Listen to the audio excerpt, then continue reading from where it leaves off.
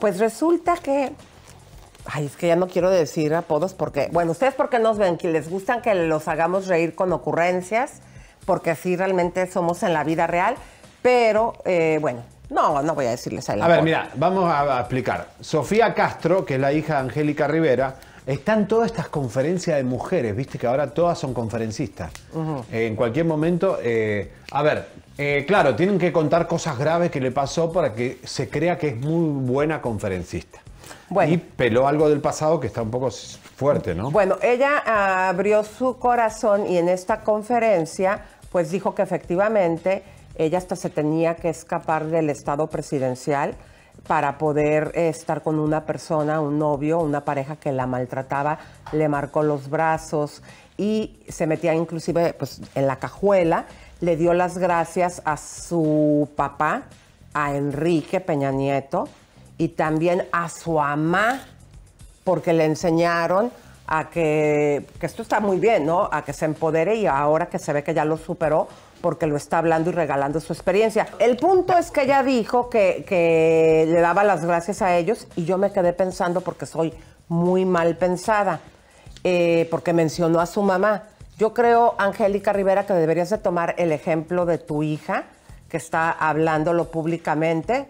Bueno, a lo mejor se ve que ella lo hace porque ya lo superó y tú no has superado, porque después de ese que se manejó como rumor de que Enrique Peña Nieto la había mandado al hospital y rentó toda un ala del Hospital Ángeles para que ella se pues, pudiera atender, Fíjense que yo les quiero comentar que estaba con una famosa espumosa en Cancún entrevistándole en ese tiempo y cómo la vez que recibimos en ese momento información de adentro de Televisa eh, que efectivamente le había dado una guamisa y la había mandado al hospital. Mm, Entonces se dijo mucho eso. Claro, esto y ver tú eso, yo creo que también hubo mucho de ejemplo eh, de que Sofía pensó que así era la relación y le permitió eso.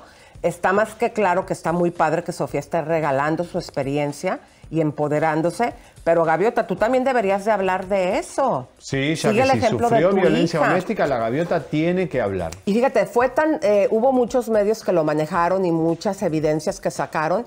Incluso la revista TV Notas sacó a los al poco tiempo ya que salió del hospital que ahí se ve que para mi punto de vista es cuando hubo la separación entre Peña Nieto y la gaviota, que la captaron en Nueva York con la hermana de compras.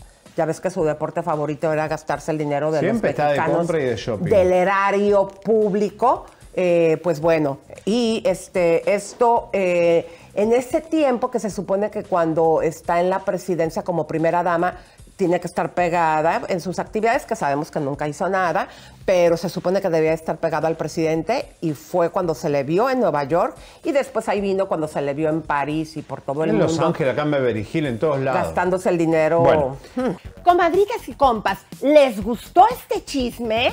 Esto es un chisme no, like. No se les olvide compartir a tu vecina, a tu amiguita, a tu amiguito, a tu comadre, a todo mundo. Y bien importante que se suscriban en nuestro nuevo canal de YouTube oficial.